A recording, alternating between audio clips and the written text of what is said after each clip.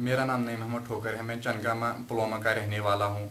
मुझे ये प्रॉब्लम जनवरी 2018 में हो गई, जिसकी वजह से मेरी दाई आँख रिमूव करनी पड़ी। और मैं अपने माँ बाप का शुक्र करना चाहता हूँ, जिसने मुझे आगे बढ़ने की हिम्मत दी और मुझे मदद सपोर्ट किया। और मैं एडमिनिस्ट्रेशन पुलवामा से दरखास्त करता हूँ कि मुझे आगे बढ़ने में मदद करे।